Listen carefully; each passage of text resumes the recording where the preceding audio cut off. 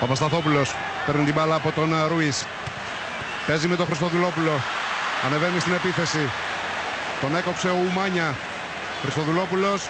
Κατσουράνης. Σαμαράς. Η μπάλα τον προσπερνά. Χολέβας. Ο Φίσας με πολύ έντονο τρόπο πηγαίνει στον τέταρτο και διαμαρτύρεται.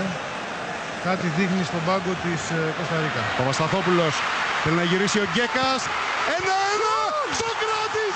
Παπασταθόπουλος μετά την απόκρουση του Κέιλορ Νάβας στο γυριστό σου του Φάνη Γκέκα. Ένα-ένα!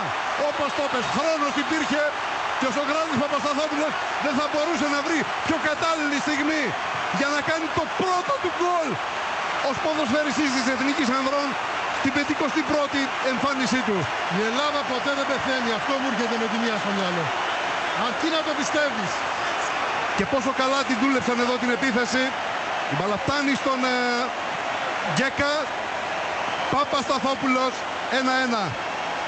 Θα παρακαλούσα το κοντρόλ στην ε, Αγία Παρασκευή να έχει καλή διαγωγή για να μην τους ξεφωνήσω στον αέρα. λοιπόν, ε, Σοκράτης Παπασταθόπουλος με την απόκριση του Νάβο στο σου του Γκέκα. 1-1.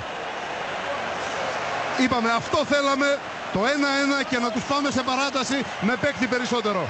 Γύρισε ο διακόπτης, η Ελλάδα ισοφαρίζει.